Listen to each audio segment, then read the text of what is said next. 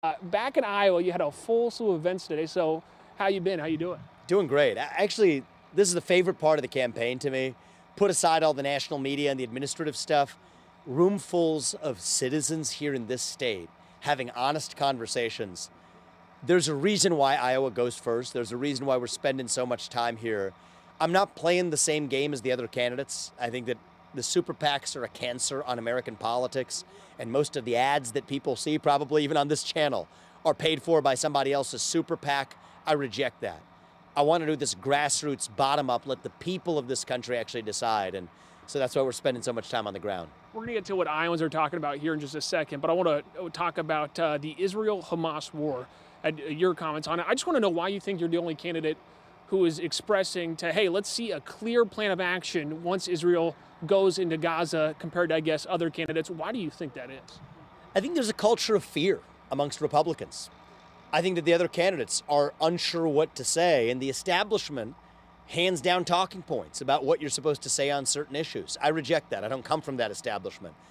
I've seen what this country has gone through in the wake of 9 11, a tragedy, after which we committed terrible mistakes. Six and a half trillion dollars wasted two wars in Iraq and Afghanistan, sacrificing thousands of American lives. I don't want to see us make those same mistakes again. I don't want to see Israel make those same mistakes. And so people are worried. Are you? Is that? Does that mean you're going to be anti-Israel if you ask these questions? No, that's not anti-Israel. That is pro-Israel. But even more importantly for me, it is pro-America. We need free speech and open debate now more than ever in times of crisis. Free speech isn't just for when times are easy; it's when for times are hard. And so, yes, I believe that we need clear answers to what exactly are the objectives of a ground invasion in Gaza. I understand the emotion. What Hamas did to Israel was wrong.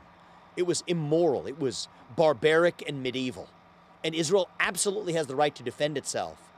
But our job as a friend and ally is, especially if we're expected or asked to support this in any way, is to ask the questions of the why. What are we actually going to achieve? And that gives you a sense of how I will lead as commander in chief, not with emotion, some with corruption, making money by going into war. No, that's not how I lead. I will lead with cool headed rationality. That's how we make our best foreign policy decisions, even while we, with emotion, stand with our friends. And I think that's the combination we need. I want to shift to what Iowans are telling. You've got a full slate of events on Saturday. You yeah. just wrapped up a town hall here, in Indianola, heading out to some more as the sun's already yeah. down. So I guess what are Iowans communicating with you that's different from, I guess, just a couple of months ago? What are some of the issues that are top of mind? So I think we're seeing a lot of the standard issues relating to the border, dependence on China, growing the economy, national security concerns, and we're addressing those. But what I'm seeing in these rooms is that if you have a room full of people who are coming in uncertain, people are coming out as volunteers for us in droves. But these are events with 50 people, 60 people at a time. It's in those intimate settings that we can get real that we can really take off the guards that people otherwise have, give them permission to really speak openly. What I don't know is how that translates into the hundreds of thousands of people who participate on January 15th. But my bet is that the people who are in these rooms, small rooms like these, are going to tell their neighbors, talk about it with their family members and their classmates and their colleagues. And that starts a grassroots uprising to really answer a deeper question. What does it mean to be an American today? What is our national identity? We're missing a national identity in the United States of America. I'm a leader from a different generation. And I think it's going to take somebody from the new generation to reach the next generation. I was at Iowa City with a bunch of young college students a few nights ago. People who traditional Republican candidates and consultants would say, forget about them. They're never going to come along with us. I disagree. People are hungry for direction, young people in particular. We're bringing that to this race. And so I'm confident we can reignite this country and reunite this country. But we're going to require Iowa to come along with us in this caucus. And if I win the Iowa caucus in January 15th, I'll be the next president. I'm confident we can reunite and revive this country. But we're not going to do it alone. It's going to be all of us doing our part. And then just last question for you here, too. Appreciate your time.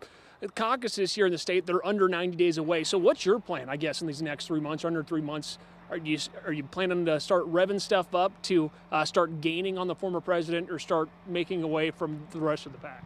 Grassroots activation. This is bottom-up driven campaign. The guy who, actually, one of our state co-chairs, he ran Rick Santorum's campaign. Rick Santorum was polling lower than where I am in October of his year, ended up winning the caucus. We're running this very similarly, going to pizza ranches across the state, meeting people one on one.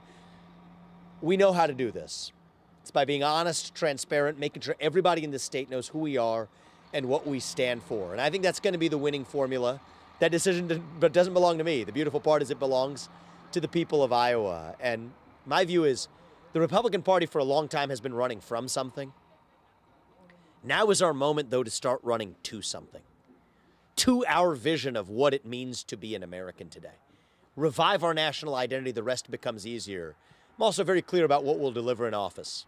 Shut down the deep state, the shadow government, the three letter agencies as my domestic agenda, declare independence from China abroad, keep us out of World War III in the process, and revive national pride. I know how to do those things. Now it's just about winning the election, starting with the caucus, and I'm confident we'll be able to do it. All right. Best of luck, Mr. Ramaswamy. Thank you very much for joining us. Thank you. Appreciate your time. appreciate it, man. Thank right. you. Good seeing you. You too.